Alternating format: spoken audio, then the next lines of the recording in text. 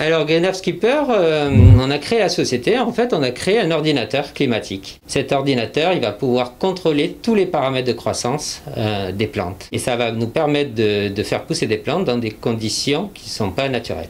On peut construire euh, des systèmes pour faire pousser des plantes n'importe où sur la planète qu'il fasse chaud, froid en plein milieu du désert. On a fait la Suède, on a fait deux installations là-bas. Après, nous, notre segment principal de marché, c'est quand même les centres de recherche. Parce qu'on conçoit en fait des nouveaux systèmes d'irrigation des nouveaux éclairages. Ça s'adresse plus au monde de la recherche, mais on fait aussi tout ce qui est euh, production, mais professionnelle. De la petite chambre de culture jusqu'à des entrepôts.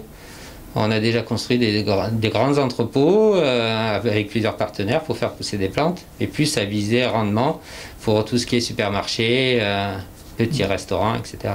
On fournit plusieurs solutions de nos systèmes, soit un automate qui va permettre de monitorer, ça veut dire d'analyser euh, la température, l'humidité ou la lumière, Mhm. Soit on fournit des systèmes clés en main, ça veut dire des chambres de culture comme ça, des chambres froides, avec un système qui, euh, vous pouvez voir ici, qui va faire pousser les plantes.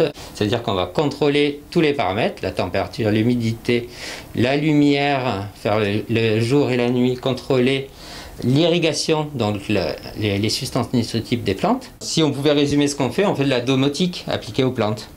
Donc c'est comme à la maison, en fait, on a tout, tous les, tous les capteurs qu'il y a dans notre chambre de culture qui permettent de voir si tout se passe bien.